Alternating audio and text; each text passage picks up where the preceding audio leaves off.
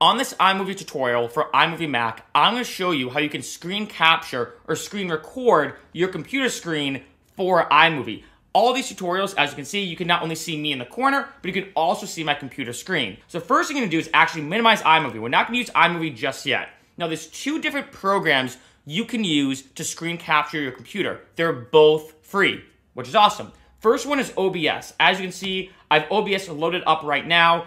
This is the main software and the main program that I use to screen capture all of my videos, whether it's an iMovie tutorial or a music production tutorial or whatever I'm going for. So as you can see, you can see, you know, my microphone going here. Here's all the stuff I've set up to record my computer screen. It has obviously that kind of weird infinity type look because obviously this is what it looks like when I'm recording my computer screen. So I can kind of do that, which is kind of cool. So this is the main program that I use. It's a bit more advanced, However, it's incredibly good for recording your computer screen. And like I said, it's free. The second program you can use is QuickTime. OBS, you have to go to their site and download it, but QuickTime is automatically or is typically automatically installed on your computer. So first I'm gonna do is go to QuickTime Player. I'm gonna load it up right there. I'm then gonna go to File and New Screen Recording. I'm gonna click this.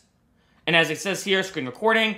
Now there's a couple things I can do, but basically I have this here. I'm just gonna click record and then click to record the full screen. Now, there's two ways you can do this. One is you just click the button and it starts recording. The second is I can click and drag, so like I can do this and record only a part of my computer screen. It's kind of up to you what you're going for. So I'm just gonna X this out. I'm gonna do this again. Now, typically, I feel like you do wanna record your whole computer screen, so all I'm gonna do is click this again, click this, and then I'm gonna wait.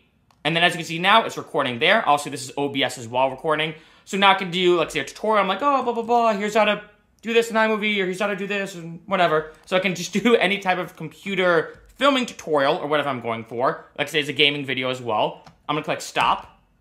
And then boom, this is the entire video. So now I'm gonna save onto my desktop just to show you.